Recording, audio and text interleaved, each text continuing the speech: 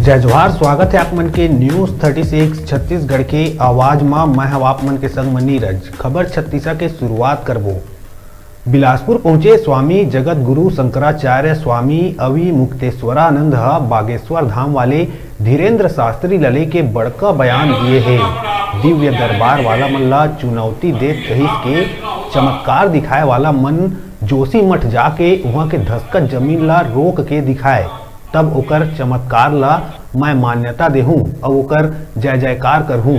धर्मांतरण के मुद्दा में कहिस के, धर्मांतरण के पक्ष में बोले वाला या विरोध करे वाला के पाछू धार्मिक कारण नहीं है, एकर पाछू राजनीतिक कारण है।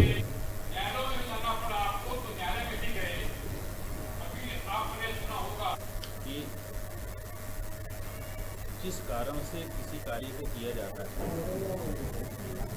उस कारण को पूरा होना चाहिए।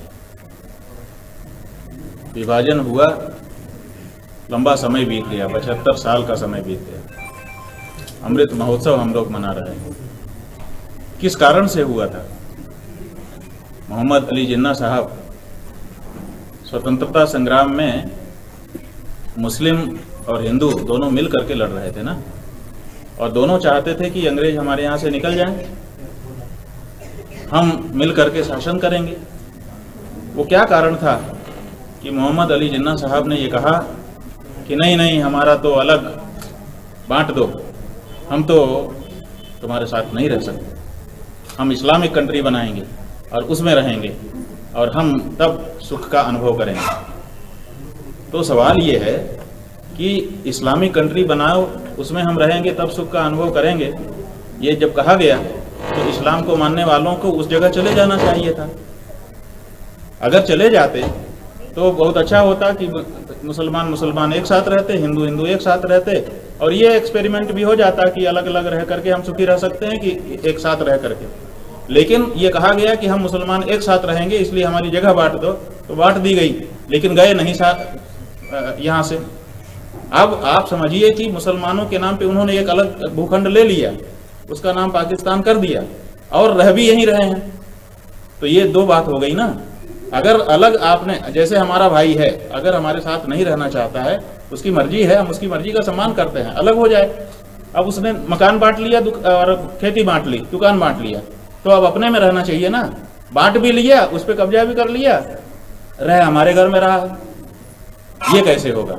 तो हमारा ये कहना था कि पचहत्तर साल हो गए, बहुत लंबा समय हो गया अब आपको इस बारे में निर्णय करना चाहिए कि मुसलमान एक जगह रहे हिंदू एक रह, साथ रहे इसी के लिए बंटवारा हुआ था।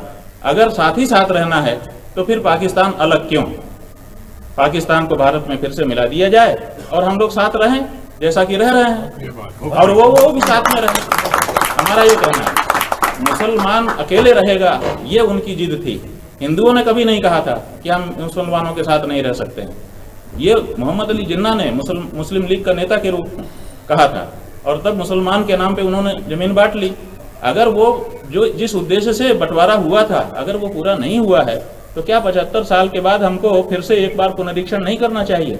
कि भाई जिस कारण से कुछ हुआ था, वो अगर वो लक्ष्य हासिल नहीं होता है, और हमको अगर साथ में वाले हम उनको फूल बिछाएँगे कि आओ और ये जो मकान में दरार आ गई है, हमारे मठ में आ गई है, उसको जोड़ दो।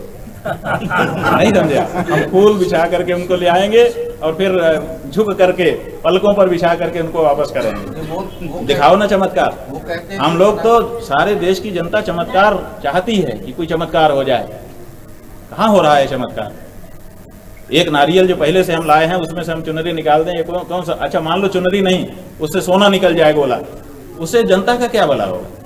तो जो चमत्कार हो रहे हैं वो जनता की भलाई में अगर उनका कोई विनियोग हो तो हम उनके जय जयकार करेंगे नमस्कार करेंगे। और नहीं तो ये चमत्कार जो है छलावा है इससे ज़्यादा कुछ नहीं। नहीं है आ, क्योंकि सनातन धर्मी दृढ़ता से अपने धर्म का पालन कर रहे हैं। हाँ ये ज़रूर है कि सनातन धर्म आ, ऐसा धर्म है आ, जिसको ख़त्म करने के लिए आ, बहुत सारे लोग हर समय प्रयास करते रहते हैं। वो चाहते हैं कि ये ख़त्म हो जाए क्योंकि इसके रहते जब तक कोई धर्मगुरु सनातन का नहीं आता है, तभी तक इनका सब चलता है।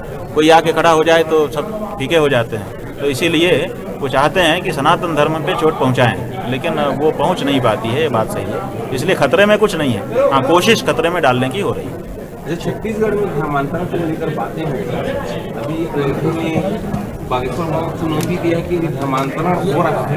तो आप छोड़ दूँगा और उनको देखिए, हमारा ये कहना है कि ये जो धर्मांतरण हो रहा है, धर्मांतरण चाहे वो छत्तीसगढ़ में हो, चाहे कहीं हो, धर्मांतरण धार्मिक कारण से नहीं हो रहा है। जो धर्मांतरण कराने वाले लोग हैं, वो भी ये इसके लिए नहीं करा रहे हैं कि लोग धार्मिक रूप से ऊँचे उठ जाएँ। उनका भी उद्देश्य राजनीतिक है।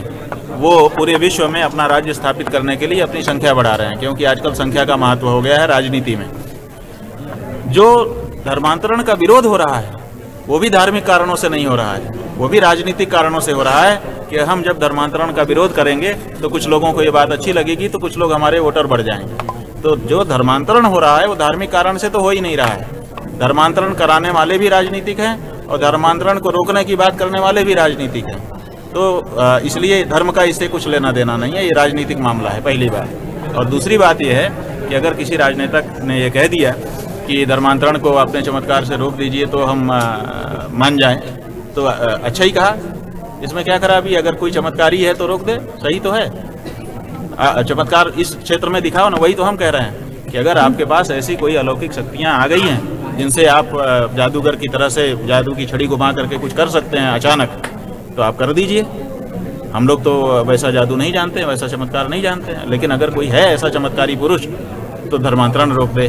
तो लोगों की आत्महत्या रोक दे तो लोगों को घरों में जो झगड़े फसाद हो रहे हैं, सुमति ला दे, पूरा देश एकदम एक दूसरे से प्यार, आदर करने लग जाए। जो वर्गों में विद्वेष हो रहे हैं, उन वर्गों के विद्वेष को रोक दे। ऐसा कुछ जनता और राष्ट्र के लिए उपयोगी, चमत्कार करके कोई दिखाए तो हम उसको चमत्कारी पुरुष कह सकते हैं। ये अगर